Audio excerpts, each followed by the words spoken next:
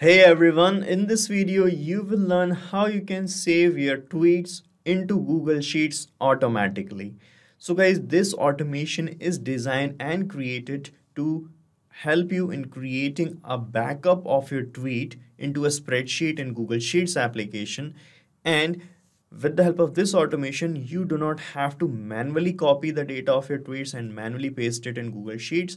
It will happen automatically whenever you share a tweet the text and the images or anything that you have put into the tweet will be saved into your spreadsheet automatically. So that way it will create an automatic backup and a track record of your tweets and you can analyze the data further in the future okay? And we are going to set up this automation without any coding super easily. So let's get started to set up this automation, we are using Pabbly Connect and this is an automation tool and here is the landing page of Pabbly and I have pasted this same link in the description as well. So from here you can sign up for free and you will get free automation tasks every month to test and set up your automations. So you can just sign up right now and after that you have to sign in and you will reach the dashboard of Pabbly Connect application. Here it is, okay? And from here guys you have to click on this create workflow button.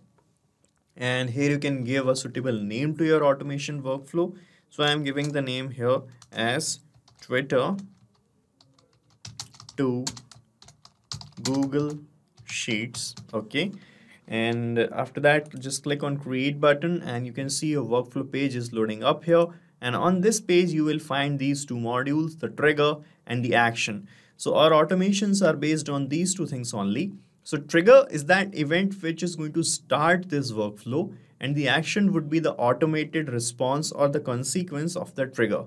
So in our use case guys, uh, sharing a tweet on Twitter will act as the trigger for this workflow and the action would be to save the tweet's data into Google Sheets. Okay. So when you click here, it will ask to choose your tri trigger application. So in this case, the trigger application is Twitter. Okay, then you have to select the trigger event and the event would be a new tweet. Okay. So here you can see it is showing every 10 minutes. So this trigger is going to check in every 10 minutes if there is a new tweet that you have shared on Twitter and if it finds a new tweet this is going to trigger and start running okay so click on connect here to connect with Twitter from here, select add new connection, then click on connect with Twitter. And from here, you have to uh, just click on authorize app to authorize this application to connect with Twitter. Okay. So it might bring you to the login window if you're not logged in, but I have already logged in. That's why it is just asking me to authorize and you can see the authorization is successful and we are connected. Now here you can see we have the save and send test request button. So by clicking on it, you can fetch uh, the data of most recent tweet that you have shared on Twitter. So let me click here and it will bring the data in the response section. Here you can see guys, we have received the response and in this response we have this profile image URL, okay, the background image URL that you are using on Twitter, the uh, username, the user's location, and here you can see the tags used in the uh, account and the creation date of the account handle is here and you can see all other things. And this is a the text that that has been shared on twitter. This is the text that had been shared. New offer get free sun cap with herbal products. This is a kind of tweet that has been shared. Let me show you that also this was the tweet new offer get free sun cap with herbal products and this text got captured here along with a link okay and here you can see we have this media URL as well in which you will find the image shared on as a tweet in this JPG form. You can see this is the media URL. Okay, so this this is the image that has been shared. Okay, so we got all the data like this. Now it is time to save the data in a spreadsheet that I have in Google Sheets application. For that, we are going to connect with Google Sheets in Actions tab. So here you just have to search for Google Sheets. Okay then select the action event as add new row. Then click on connect. From here select add new connection. Then click on sign in with google. And from here you have to select that google account by which you have created that spreadsheet select that. Then you have to provide some additional access to your account. So just click on allow here. Okay and you can see the authorization is successful. And we'll be connected in a second. So you can see we are connected okay? And here it is asking to select the spreadsheet in which you want to save the data. So my spreadsheet is here. This is the spreadsheet named as tweet sheet and these are the tweets uh, these are the data I want to save. The tweet text any image if in, uh, contained in the tweet any URL if any and the tweet's date and the tweet's link these are the things that I want to save here about my tweet. And here I am going to first select the spreadsheet's name. Here it is tweet sheet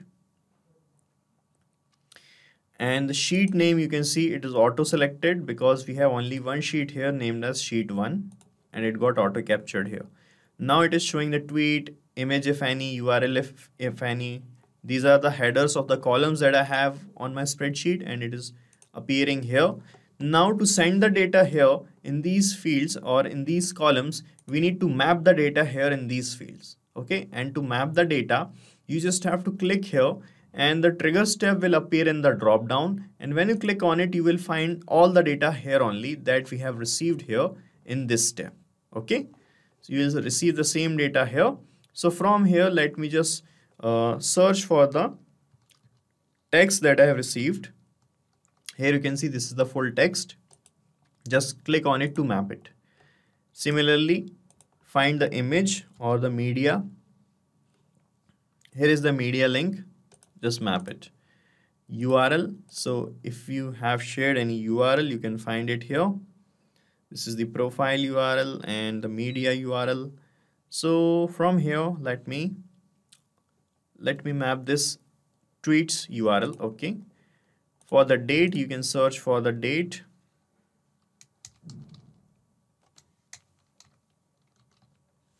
So you'll find this created at label in which you will find the date of the tweet and here is the user created at label and here you will find the creation date of the account. So you have to map this label created at label, not this user created it. Okay.